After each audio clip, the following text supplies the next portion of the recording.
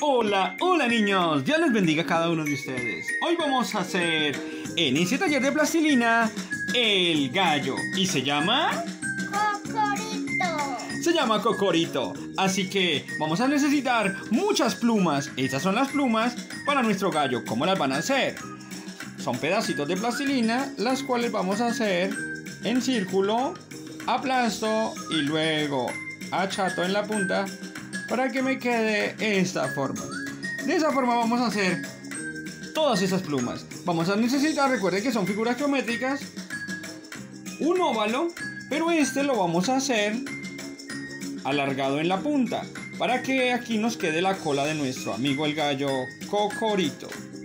Esa parte ya la había hecho previamente para eh, minimizar tiempo en el video, pero es dos palillos los cuales vamos a forrar con color durazno y un poco de azul para las plumas del gallo. Esto es una roca que hicimos con un poco de plastilina gris y un poco de pasto para poder ahí poner el, el gallo. Los ojos del gallo, como ya habíamos visto en los otros videos, en cada uno de los ojos pues tenemos entonces esta parte. Este es un trozo de plastilina, el cual lo vamos a alargar de esa forma. Ay, de esa manera. Ahora lo que vamos a hacer entonces es, vamos a ver las plumas de la cola. Las plumas de la cola son unas gotas, las cuales vamos a colocar y vamos a rayar con el palillo. ¿Cómo van a rayar con el palillo? Sencillo. Empiezan a marcar de esta manera. Hago primero la línea del centro y luego rayo de esta manera. De esa forma realizo todas. Pero vamos con el ensamble de nuestro amigo el gallo. Como les decía, ese ya estaba previamente hecho. Cada vez que no puedan hacer algo, pueden pausar el video y miran muy bien cómo se hace. Vamos a colocar entonces en esta parte a ensamblarlo de esta forma. Recuerden que les había dicho que para poder que esto quede fundido ahí, simplemente lo que hacemos es presión con nuestro dedo de esta manera. De esa forma lo vamos a hacer. Para que ahí nos quede fundido esta parte. La cabeza de nuestro gallo que Juan José tiene en la mano es un triángulo. Van a ver que es un triángulo, mira. Es la forma de un triángulo. ¿Qué hice? La coloqué de esta manera para poder entonces que esta sea la parte de la cabeza de nuestro gallo. Vamos a ponerle dos palillos aquí en esta parte para poder colocarla. Pero espera por acá, vamos a hacer lo siguiente. Vamos a colocarla entonces aquí. Hacemos igual presión para que nos quede de esta forma. Pero aquí vamos a empezar a hacer lo siguiente. Vamos a colocarle las góticas que van a hacer las plumas de esa forma. Pero antes de esto voy a pegar las alas. Las alas son dos gotas iguales. Las dos gotas van a ir una a este lado y obviamente la otra a esta otra parte. De esa manera nos va a quedar así. Tenemos entonces esta parte de aquí. Levantamos su cabeza porque el gallo está bien paradito. Así, de esa manera. Ahí entonces lo que vamos a hacer es colocarle en todo el borde estas plumas. Entonces vamos a colocarlas ahí. Mientras tanto, esto también nos va a dejar dos enseñanzas.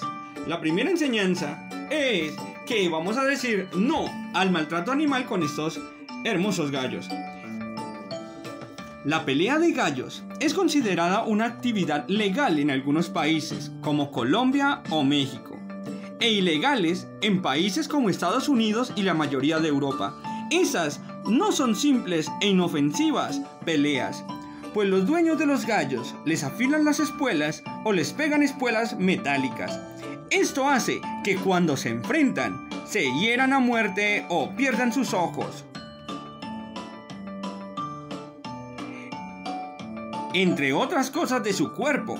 Las personas apuestan por el uno o por el otro sin pensar en el dolor de los contendores y observando un espectáculo cruel. Por eso hoy vamos a decirle no a estas peleas ilegales o a esas peleas de gallos. Pero también vamos a tener en cuenta algo. Y es que ese gallo también nos va a dejar otra enseñanza. Y resulta que era cuando Pedro se encontraba con el Maestro, con el Señor Jesús. Y resulta que aquel Pedro se acercó cuando llevaban a Jesús en el patio de aquella casa. ¿Y sabe qué le dijeron? Le dijeron a Pedro, oye, tú eres de esos. Y Pedro dijo, no, no, no, no, no, yo no soy de esos. Pero antes de todo esto, el Señor le había dicho algo. Y era que, Pedro, antes que el gallo cante, me negarás tres veces. Así que, cuando el gallo cantó, Pedro negó al Señor tres veces.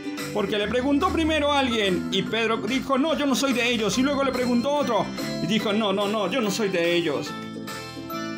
Así, de esa manera, Pedro negó al Señor. Hoy no, vamos a negarle. Nunca le tenemos que negar al Dios de la gloria. Tenemos entonces esa parte, ahora vamos a pegar la cola de esta manera. Hacemos presión y vamos a empezar a pegar toda la cola en esta. Primero pegamos toda la parte de las plumas negras de esta manera. Enganemos entonces de esta forma. Vamos pegándole pluma a pluma. Después de esas, sobre ellas vamos a pegar también las azules Colócale una por acá, Juan José. Baja la mano para que puedan ver. Ahí. Muy bien. Y ahí nos va quedando entonces de esta forma. Vamos colocando pluma a pluma. Pero bueno, mientras que colocamos esto, también tenemos que hacer esta otra parte. La otra parte que vamos a hacer es lo siguiente.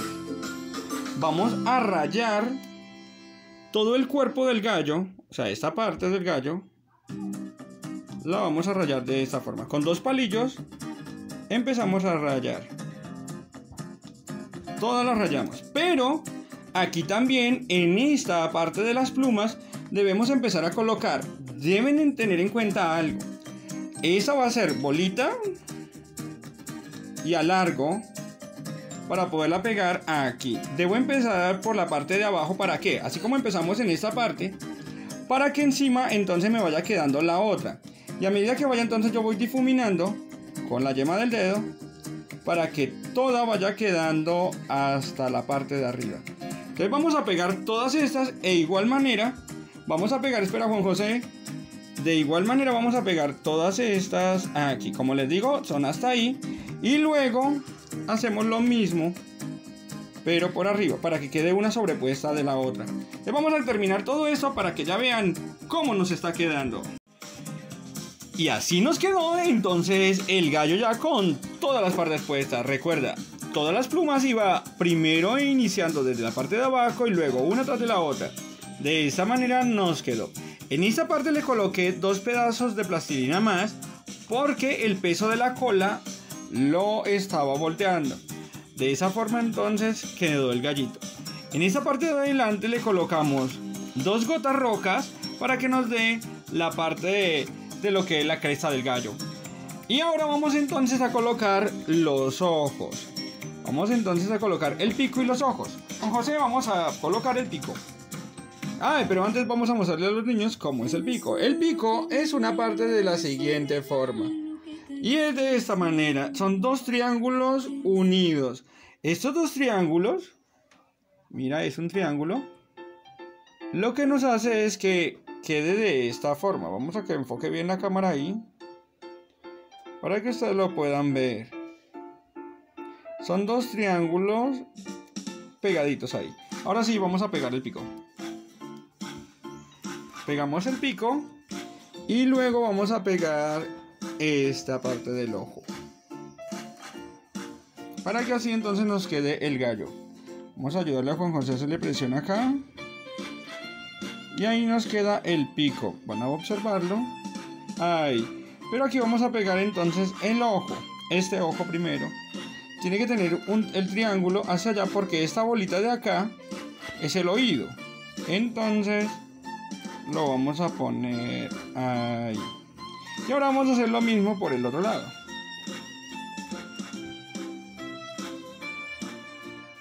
Muy bien. De esa manera nos debe quedar. Debemos tener en cuenta que cuando lo coloquemos, tal vez nos pase lo de Juan José, oprime demasiado fuerte y hizo que saliera. Vamos a poner la cresta del gallo. A ver, coloca la cresta por acá. Muy bien. Ahí. Y de esa manera entonces, así nos queda nuestro gallo Cocorito. cocorito. Este es el gallo que hicimos. Así que recuerda la enseñanza de hoy. Vamos a decir no más a esas peleas ilegales, a esas peleas que solo causan dolor a estos indefensos animales. Pero también debemos tener en cuenta algo y es, no vamos a negar al Dios de la Gloria.